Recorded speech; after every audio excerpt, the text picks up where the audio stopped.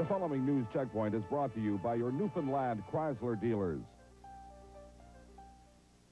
Good evening. Some figures this evening from the legislature that should interest you. The 52 honorable members of the House claimed a total of one and a quarter million dollars in expenses during the past fiscal year. Individual amounts ranged from less than $2,500 to nearly $50,000. Len Simms, opposition leader, claimed $21,000. Premier Clyde Wells claimed 2,300. Labrador MHAs claimed the most. The province's garage owners aren't happy with recent changes announced by Transportation Minister John Efford to the regulations regarding motor vehicle inspections. Those owners met last night to draw up a plan to oppose the changes. There was a general agreement among them that the new regulations would mean a loss of business for them and as well put a lot more unsafe vehicles on the highways of this province. The former head of Newfoundland Hydro, who joined the PCs in their campaign against hydro privatization last June, has now joined the Conservatives as a top policy advisor.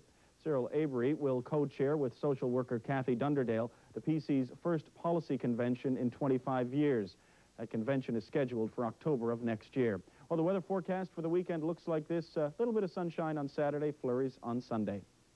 That's our checkpoint. I'm Fred Hutton. Have a good weekend, everyone. The preceding has been brought to you by your Newfoundland Chrysler dealers.